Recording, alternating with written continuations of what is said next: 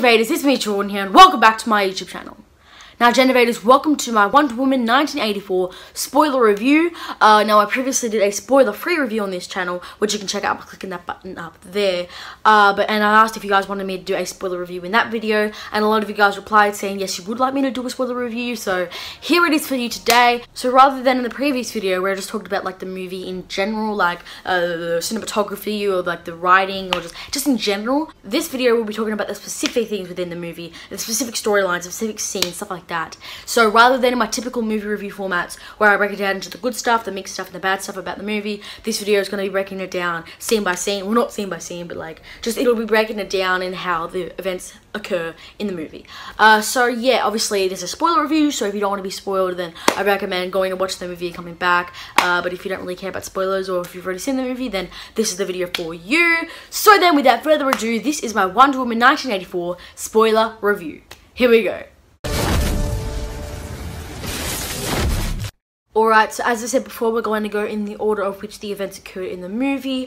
Uh, so let's begin this review off by talking about the opening scene at the Themyscira Olympics. Uh, it was a really cool scene with some great visuals. Now, while I think this scene was pretty pointless, other than the lesson of which Queen Hippolyta, I think her name is, uh, teaches Diana about, you know, cheating is not the right thing to do, uh, which I'll talk more about later on in this uh, review, it was still a really fun scene regardless, and with great action and great cinematography. Like, the direction and, like, the stunts and all this sort of stuff in the scene is absolutely amazing. Uh, and the young actress Lily, who plays Diana, uh, who I just found out the other day that she actually did all her stunts herself in this movie. Like, no stunt doubles were required with her, which is absolutely amazing. And she was just really great in this scene, especially when, you know, she gets pushed off the horse. And Queen Hippolyta says to her, you know, uh, you shouldn't cheat, but she's like, I should have won that. Yeah, I think she was great in this scene. Now, speaking of this message, now while in this scene it is literally spelled out to you that cheating is wrong, the message of nothing good is born on lies comes back later on in this movie when Diana is convincing everybody to renounce their wish. Uh, now, while little, this gives the scene some meaning, which I liked, uh, and I look forward to seeing the Amazon spin-offs purely set in Themyscira. I hope we get more of these sort of like fun little adventures that they're going together or stuff like that, and just shows you more of like the life in Themyscira, if that makes sense. And you know, I'm looking forward to that spin-off. We then cut to the 1980s where we get this like very cheesy yet you know cool montage of Diana saving people and stopping these criminals. And while there is some terrible CGI, wire work, and while I said it was quite cheesy, it was a great scene which helped to establish the 1980s settings within the movie, which later on in the movie didn't really play that big of a role, uh, but it was a great scene just to establish you know where it's set in the movie.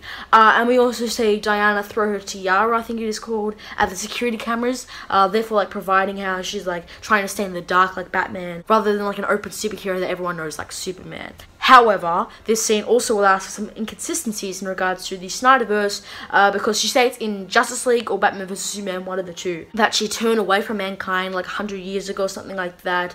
Uh, but she's seen trying to help people in this scene, so it doesn't really make sense unless she means like she's trying to like stay undercover in public, if that makes sense. I don't really know, but if they mean like fully just like not helping mankind, well, that's inconsistent because in the scene it's clearly shown that she's helping people, if that makes sense. Uh, but you know, I guess Warner Bros Brothers is just trying to loosely retcon the Snyderverse. So yeah, I don't know really. Uh, it's not like a major problem. It's not like oh my gosh, this shows a major inconsistency. This whole movie's not canon anymore. It's just something worth noting. In my opinion, the opening 30 minutes of this movie is the best part of the movie, and it was just a fun time at the cinemas. Uh, whereas the final two hours dragged on a lot, and you know it just lost me due to inconsistencies, terrible pacing, uh, a lot of like logistical issues in regards to like story writing, stuff like that, which I'll elaborate on later on. But yeah, the opening 30 minutes was absolutely amazing.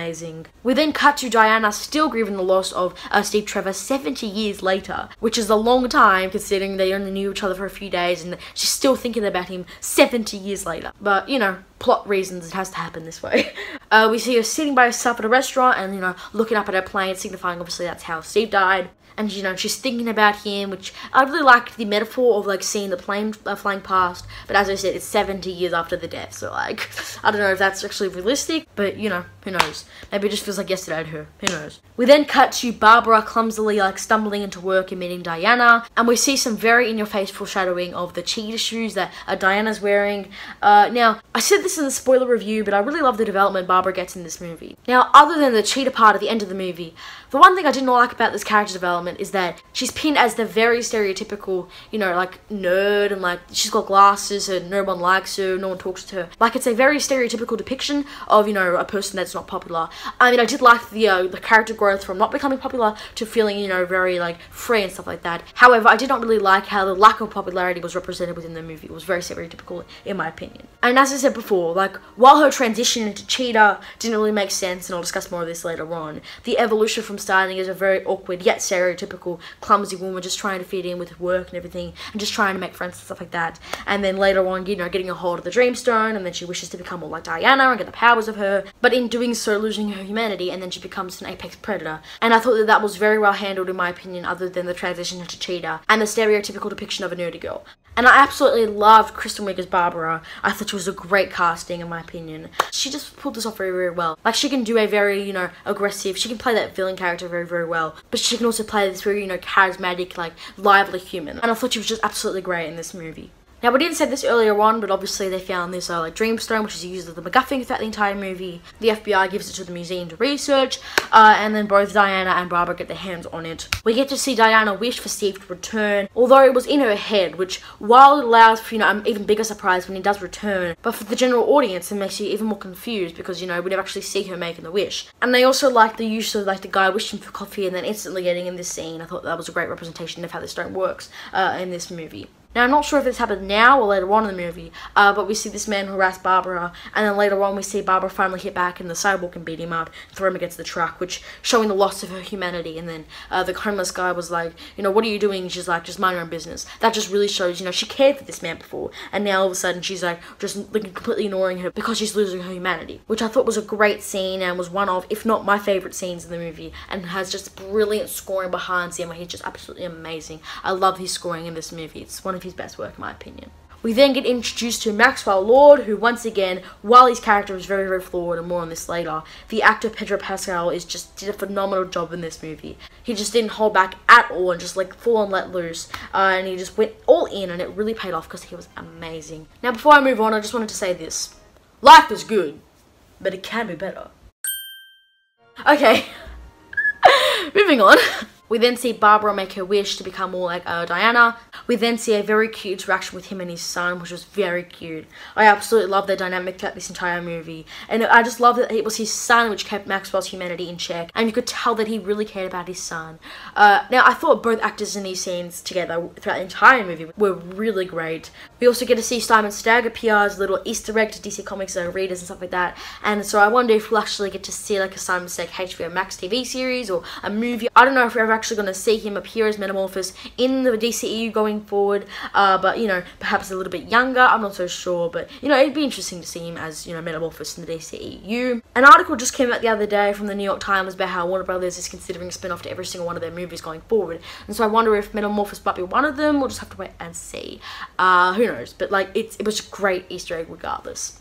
Maxwell Lord then visits Barbara at work again and invites both her and Diana to this party, uh, which is where Diana and Steve reunite, which is a great scene. And also this shows the transition between, uh, you know, Diana being like a very awkward girl and also becoming more popular uh, with that catwalk and like them splitting like the Red Sea to make room for her. That was really cool. We then see Steve and Diana discussing his return and then Diana takes him around Washington to show him what the 80s were like I love that in the first movie, Diana was like a fish out of water. You know, she was coming from this isolated island, then she moved into England, and then he was showing her around as to how everything works. And now, because he came from the 1910s, whatever they were called, you know, he's in the 1980s, so she's showing him around. So it was a nice little swap compared to what happened in the previous movie. And then Steve takes Diana back to the guy's body, of which Steve took over uh, his apartment. Now, this leads me into a perfect segue in discussing Steve Trevor's return in this movie. So, Upon first watch, I came out of the movie going, I don't see why people have a problem with this. Like, he returns in a way which serves the narrative, allows for some consequences of Diana using the Dreamstone, and then allows for some great emotional payoff once she renounces her wish, and some great acting between the two. Great chemistry. I love seeing Chris Pine back. I said this all in my previous review.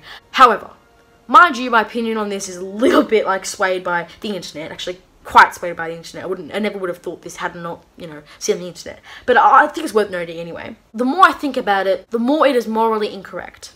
Now, while I have no problem with him returning via the stone, like at all, like the stone makes perfect sense. Like you know, I don't know how else he's gonna come back seven years later. But what I do have a problem with, you know, is that he should have come back as Steve, not just like taking over some poor guy's body. Like the fact that he takes over the body of a poor guy, uh, takes over his apartment, and most likely made out with Diana without his consent is extremely morally incorrect. Like think about his family, think about everyone that you know. Like he didn't even give consent to this happening. Like he didn't even question it. Like it's really really wrong. And as I said, they literally just didn't hesitate at all, which is really wrong considering she's Wonder Woman. Now, while I understand how it ties into the final scene where Diana actually meets the guy behind the body, uh, that doesn't justify how wrong it was in the movie prior. Now, I read this thread that Patty Jenkins retweeted. They highlighted, like, they condemned this behavior by showing how the Soul Stone is like the god of lies or something like that. Now, I see where you're coming from. Like, they never officially said that this is all fine. However, it's the lack of actually addressing the problem head on, which I have a problem with. Like, if they just said, you know, we can't help what happened, let's just try and find a way to get you back. Like, I understand that. Like, they, obviously, they have no choice in this. But the fact that it happened and they didn't question is wrong. In my opinion, at least. If he just came back as Steve and not in somebody else's body, I would have had no problem with his return whatsoever. I love seeing Chris Pine back. It was just such a strange creative decision. Like, one scene for like a whole movie's worth of a storyline. It just doesn't make sense. Why did you choose this? Like, I don't really understand that. Uh, and even in the context of this movie, why would he even take over somebody's body and why this person in particular? Like, it was just never explained well, in my opinion. That's just one of the many things that are very flawed in this movie in regards to logic and just explaining stuff like, what? Uh, so that's my rant over for Steve Trevor. Cut back to Maxwell Lord. We see Maxwell wish to become the stone in his office, and more on this later. And then we see Diana and Steve go to an air museum, hijack a plane, turn it invisible, and fly through fireworks. Now, rant time again. Now, while there are many logical problems with this scene, such as, you know, how come nobody sees them until they're on the runway? You know, how does someone from the 1910s suddenly know how to fly? A 1980s plane instantly? How come Diana instantly knows how to make a plane go invisible when she'd only tested on a cup prior, and there are literally no other references to her being able to do this earlier on? And why is there a fully functional war jet in an air museum anyway? How is it possible to fly through fireworks? A lot of problems with this scene.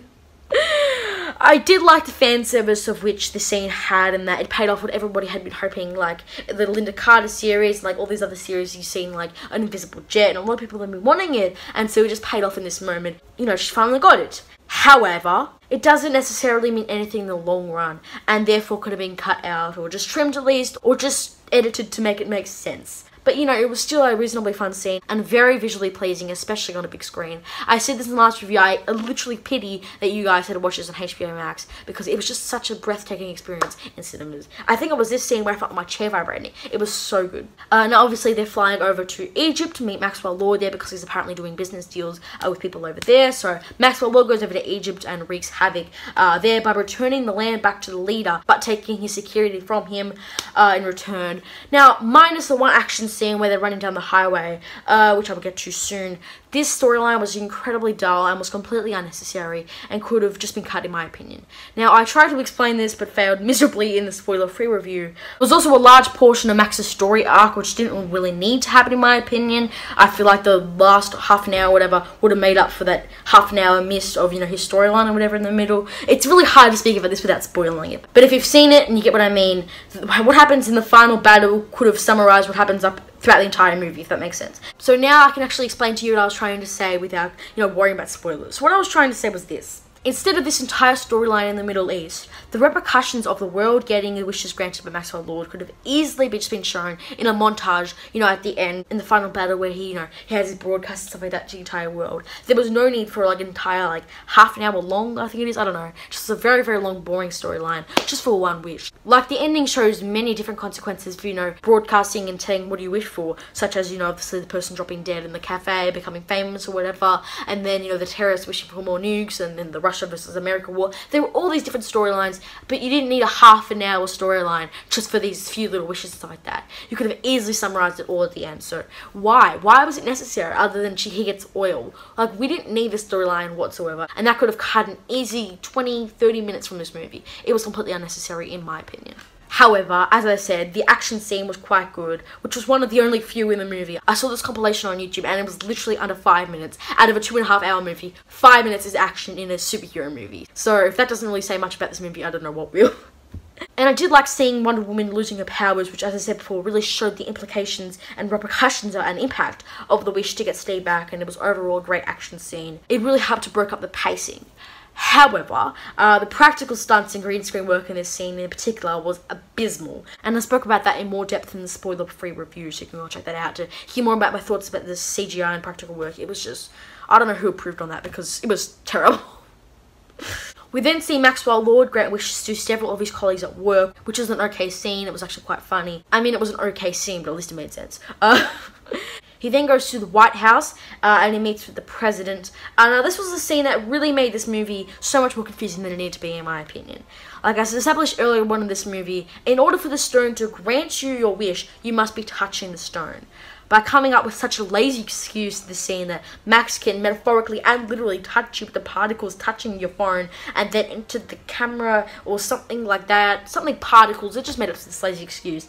It was an incredibly illogical and just such a lazy excuse just to cover up with some very lazy plot convenience in my opinion. This storyline could have absolutely easily just worked better in a modern day setting as technology plays an even larger role nowadays than it did back then.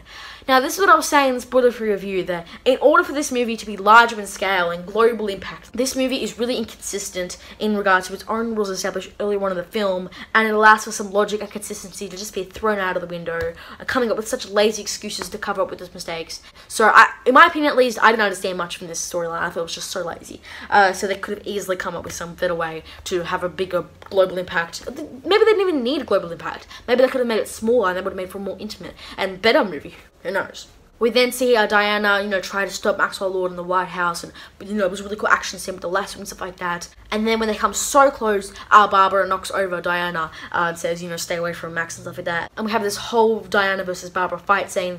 Uh, and I even predicted moments before she appeared that she would come to defend Max, and I was correct. It was a little bit predictable. And then we see Steve, you know, grab Maxwell Lord against the pole. And in this scene, he could have easily just wished for, you know, everything to return back to normal. But then it would have come with some consequences, that's true. But also, it would have just, everything would just go back to normal. Uh, so, you know, plot convenience, I guess. The fight scene was actually quite good in my opinion, and at least had some better practical effects and CGI than last battle in the Middle East. We then see all this havoc and like chaos down uh, one of the Washington DC streets, and then Diana and Steve have a rather emotional uh, scene with great acting from both Gal Gadot and Chris Pine, where they have to say goodbye to each other in order for Diana to regain her powers to full strength. Now, while it was quite emotional, uh, the scene is basically a rehash of the ending of the first Wonder Woman movie, where you know they have an emotional farewell, and then Steve goes and kills himself, and then Diana uses his rage and grief in order to grow more power to defeat the villains. Uh, however, I did like it carried some weight to the scene and it showed some significant consequences to using the stone, which I spoke about earlier, in regards to having goodbye to Steve and Diana losing her powers. It was still a great scene regardless. Now, speaking of this grief, Diana then uses his rage to discover a new ability, flight. We have quite a long scene where Diana learns to fly and even rides lightning, which I don't really have a problem with because it's a superhero movie, which once again allow for some great fan service to be given uh, you know, people have been wanting her to fly for a while. however, it was a rather long scene, uh, and you know, the green screen work was absolutely terrible. It was so distracting in this scene, and it completely killed the scene for me. It took me completely out of it. However, it was a great climactic moment in the movie, and it was a great moment where you get the sense of realization that Wonder Woman is now back, like she's got her powers back, and she can finally defeat the villains. She didn't even need this power, but more on that later. We then see Barbara jump on Max's helicopter, and as I was saying before in regards to like the rules established earlier on in the movie, you can only make one wish, and Barbara had already made hers to become more like Diana. Now in this scene, they come up with such a lazy excuse that wasn't explained well at all, as to, you know, Max is feeling generous and gives Barbara the powers of a cheetah, which either makes no sense whatsoever or was extremely poorly explained. It was such a lazy excuse as to how she gets her powers as Cheetah. And we don't even know, rather than her stating that she wants to become an apex predator, why she becomes a cheetah in particular. Like, there are so many apex predators, and you know, cheetah's not even the number one. So, wh why a cheetah? Why even an apex predator in the first place? Like, this absolutely makes no sense whatsoever. Why, why did she become a whale? now, there was obviously a lot of foreshadowing earlier on in the movie, uh, you know, but that does, still doesn't explain why it happened the way it did. Just that, you know, it was coming. So was it in return for one of the wishes that you know Max grant, but then it wouldn't be benefiting him? Would it? And where, where's the, the cheetah skin coming from? What? What? Makes no sense. Anyway, moving on. we then see Max's plan fully realized, uh, you know, with his speech as president becoming televised on screens all around the world. Now, this also doesn't really make sense in regards to the rule established earlier on in the movie that you have to physically touch them, and that whole lazy particles excuse, which I talked about earlier on. But also, since when did Max become a telepath? Like, how could he hear people through a screen? Is it the particles coming at the screen and the particles bounce off the camera into his? How did he hear seven billion people at once? How did what? What? What? What? What? What? I. That's all I'm gonna say.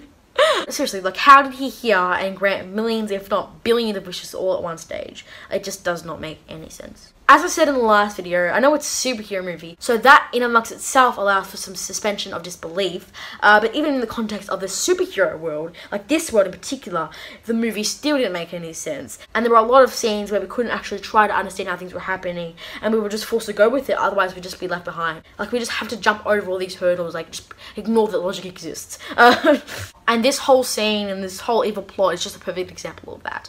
Now, I understand what it was going for, was not well executed at all, in my opinion.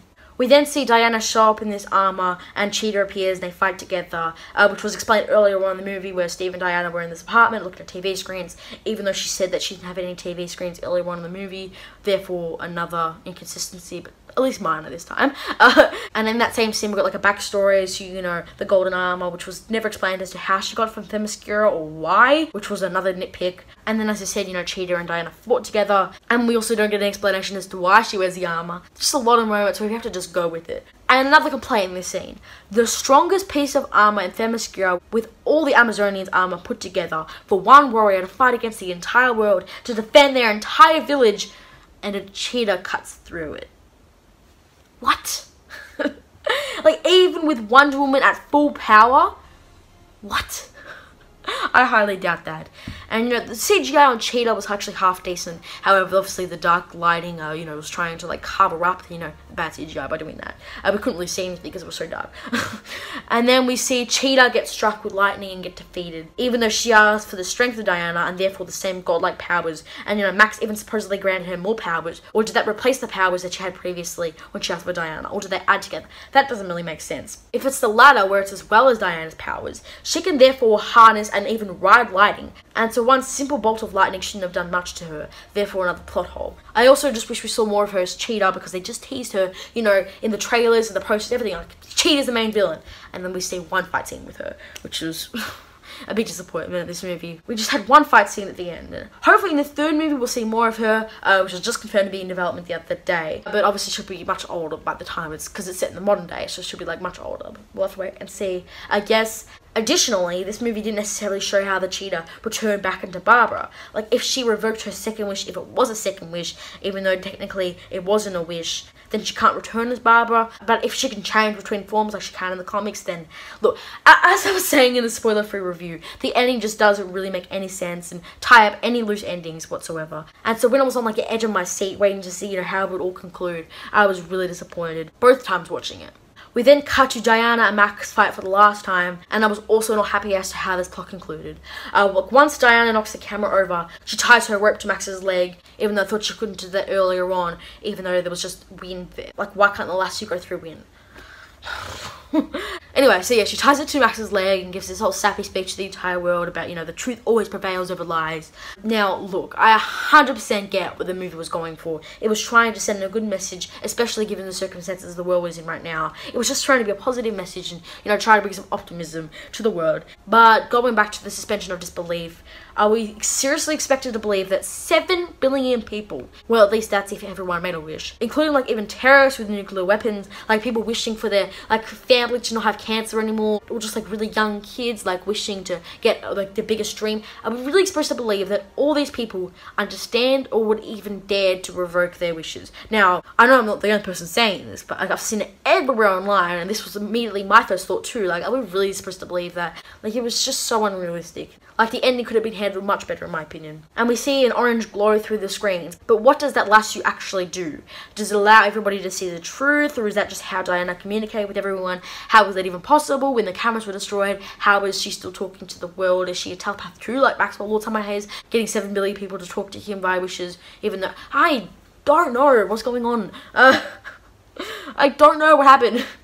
Now, I know Diana said earlier on that you can see the truth, but it was never actually explained in this scene if the last lasso had that same purpose. However, I did like that Max showed his human side, but when it came to his son, and the son was the person that, you know, convinced him to revoke his wish. And then the scene where he reunited with his son was really, really cute. I mean, he just came out of absolutely nowhere, was in this highway, and then all of a sudden just pops up at this bush. How did he know the Maxwell was appearing there? Who knows? Uh, but I do like that scene regardless. Uh, it was really, really cute. However, his character was also left open-ended. Like, this was the last time that we could see him. It was just on the side of the street or whatever. And how did he get back to that place if he's no longer the president? Who knows? Now, I wonder if he's going to come back in the third movie. Uh, however, he'd be like 80 years old because it's set in the present. But it's unlikely, but very, very possible as well. And then, of course, we get the final nice ending scene, which was fitting considering it was released on Christmas Day, which is where Diana is just celebrating Christmas with her neighborhood. This is where Diana finally meets the man of which the body Steve was in uh, throughout the entire movie, which, as I said before, I get the point of bringing him back for this one scene, but throughout the entire movie, was it really necessary, or could have just been in his own body the entire movie? I still didn't like the execution of the entire storyline. And then, of course, we get the amazing mid-credit scene where Lynda Carter returns, uh, this time playing uh, Asteria, the person they described, you know, as the person with the golden armor earlier on in the movie, uh, rather than Wonder Woman this time. Now, it was cheesy with that wink to the camera, but I didn't really have a problem with that, because it was still a fun scene regardless, and I love seeing this cameo from her. Now, I knew it was coming, because a lot of people were saying that she was going to have a cameo, but I actually thought it was earlier on in the movie when she was running through the neighborhood. I thought that was her. Now, I wonder what this means in regards to the next movie and whether or not she'll have a main role. Uh, who knows? We'll have to wait and see. Uh, we don't really have many details as to what the third movie will be like other than it's set in the present, so we'll have to wait and see, I suppose. So, in conclusion, I've clearly stated a lot of problems I have with this movie. I like, didn't like the MacGuffin used like the Wishing Stone. Like, where did it come from? How did Maxwell Lord know about it? Like, if it was inconsistent he had to touch them and the particles excuse, then I thought Barbara already made a first wish. A lot of problems with that. A lot of problems. And the negative does outweigh the good in my opinion. The pacing's off, the action's terrible, okay, a lot of that sort of stuff. However, this does not necessarily make it a bad movie. A poorly paced and not well explained at all movie, yes, very much so, it is that.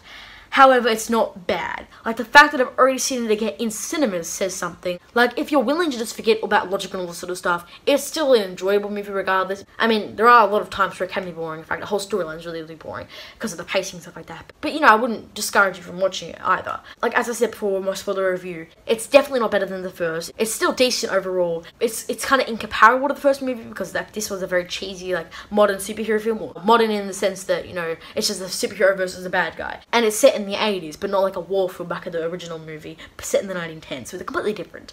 And also, as I keep saying, if you want to see my overall thoughts on the movie, like the technical aspects of the film, rather than the specific story details, or if you just want to see what my thoughts are without spoiling stuff, you can go check out my spoiler-free review, which I'll leave linked down below, and I was already up in the button up there. Like, I discussed stuff like the uh, story, the cast, the green screen, like the general MacGuffin, all that sort of stuff in that review. So I definitely recommend checking it out. While I understood it a little bit more the second time around, the fact that you have to see it twice for it to make sense just shows the flaws about this movie. But I wouldn't discourage you from watching it, as I said before. I'd recommend watching it if you want a fun night out, or at least if you're curious as to what the movie is like. Go and see this movie, but just don't feel in the rush to see it. Like, it's just just take your time watching it.